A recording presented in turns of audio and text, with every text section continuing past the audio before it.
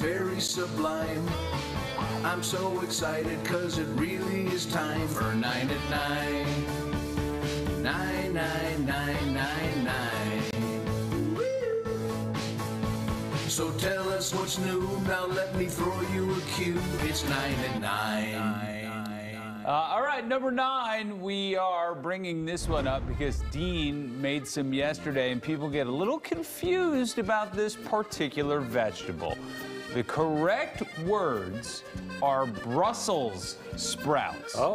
With an S, not Brussel sprouts. Okay. It gets its name from the city of Belgium, uh, in Belgium of Brussels. A recent poll in the UK found that 75% of amateur cooks say Brussels boy. without the S. Oh, Amateurs. that Dean.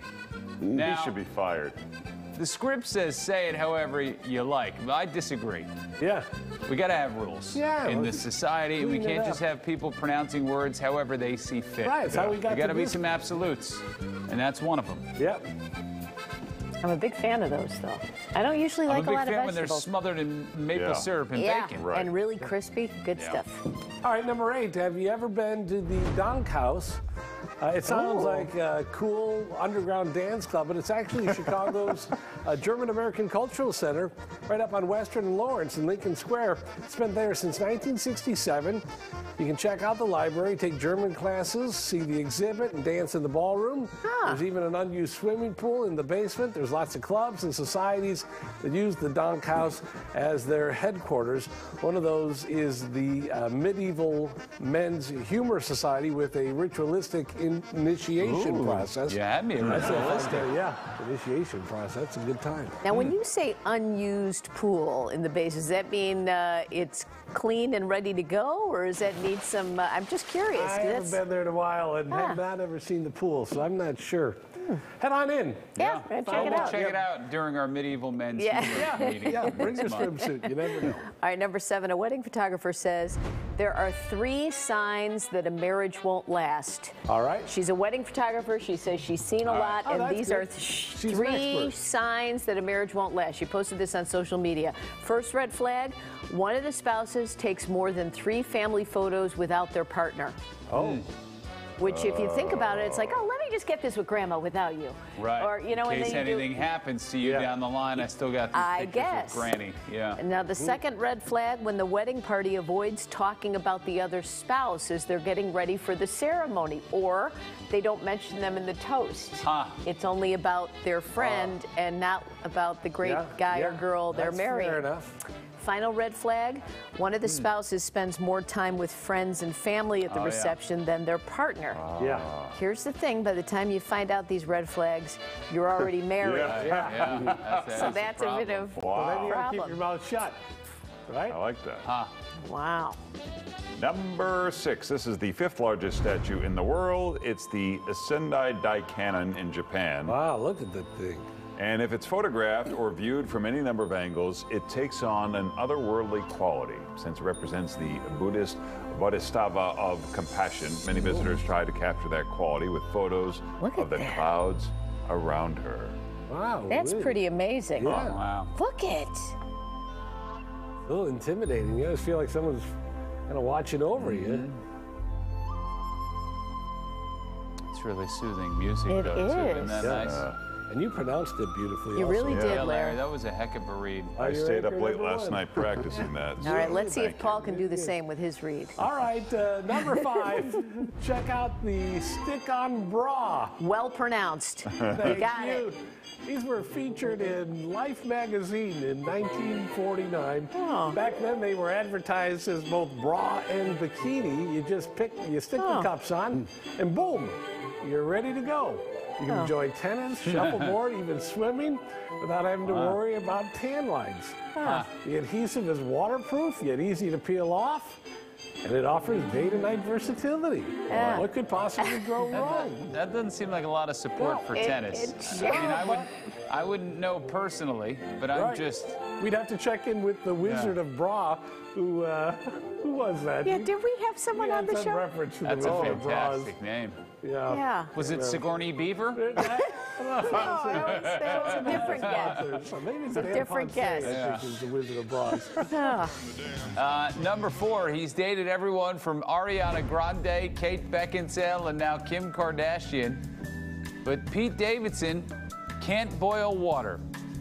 He recently admitted that if something calls for boiled water, he uses a Keurig. He says he only makes cup of noodles using hot water from the coffee machine. Uh, the only other thing he knows how to make scrambled eggs. Uh, so why can't he cook? Davidson's answer is pretty blunt. He says it's because I'm stupid. Or he's rich and There's Yeah. other he people doesn't that need make to it. cook Yeah. for himself. Yeah. All right, number three, we can't get enough of Taylor Swift right now. So let's talk about her new video, I Bet You Think You Know Me. Okay. Especially, let's talk about her stunning ball gowns in this video, shall we? Yeah. The white and red gowns were made by Nicole and Felicia. It took dressmakers 1,200 hours to make them. That's a hmm. lot of hours. Yeah. You had that up. That's a lot Wowie. Both the white version and the red version feature long, elaborate trains, 2,500 handmade flower appliques. Look at that. Hmm. Wowie. Who'd she marry there? How many hours did we say that took? 1,200? 1,200 Seems, that hours. seems like a lot. 1,200 divided by 40. Hold on, let me do some math here. 30? 30. Oh, yeah. Oh, yeah, that seems about right. It's a month's worth of work. Wow. Oh, well, Yeah, when you say it like that, it's not as impressive. Right. Kudos to you on that arithmetic, though. I'd never believe you failed the Wonderlic. I know. Math skills like I that. know. That was good. It was they tricked us, Paul. Yeah. That's we a were bum tricked. test. Yeah. I think these two sabotaged us. They likely There you go. They're big sabotagers. Number two, we told you a few months back about how some regular Joes and some celebrities who have been taking vacations to resorts in Mexico where they can smoke psychedelic toad venom. Some people yeah. say it's the world's most powerful uh, psychoactive substance, which can lead people to feel better about their mental health. The upside is that the trip is much shorter than with other drugs. You can be done with it in 20 minutes. Mike Tyson is one of those who went to Tulum to try it, and he liked it so much that he's done it dozens of times. He says that it's made him more creative and focused. Also says in my trips, I've seen that death is beautiful. The toad has taught me that I'm not going to be here forever. We think it goes without saying. Things can go very badly with this, so we are not making any recommendations for toad venom. All right. Number one, before Vanna White became the world's most famous letter turner, she was actually a game show contestant. Whoa. This is from 1980. Actually, it's different. Come on down. Contestants on oh, The Price is Right. Vanna was invited to come on down. One of them read her T-shirt where it says "Get Serious," and he said, "I am. I am." Vanna, what do you bid on that? Six hundred dollars is her bid. I want to hear from you, Bertha. Ninety-nine, and what do you think, Vanna? 425. Four hundred and twenty-five dollars. The actual retail price is six hundred and nineteen dollars. Didn't make it up. It's all down. 571. Let's see, did you make it up there? 75. Jackson, what do you say? There's the buzzer. You've all bid too high. The lowest bid is $510. Erase these bids, please. Go lower than 510, Joyce. Vanna? 495. 495. Oh, God. Price is 508,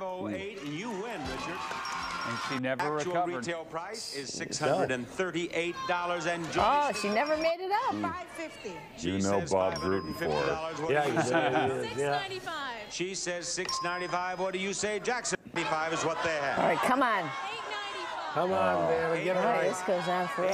895. You're all overbid. All overbid. Come on. He never wins. 695. Oh, says man. Uh, there's a moral to be uh, learned in this, right? Is She's there? a loser as The a participant, price is $620. but she found a way to still win. Yeah. Does not play. She's just, you know, if you're bad at baseball, maybe uh, you. Become a uh, coach. Become a coach, yeah. Right. Yeah. Yeah. Or find some other way, yeah, an umpire or something. Well, you guys always put it in perspective for me. Well, that's just the kind of guys we are. Yeah. Yep. Life givers. Yeah. That's the nine at nine. That's fun. It's nine.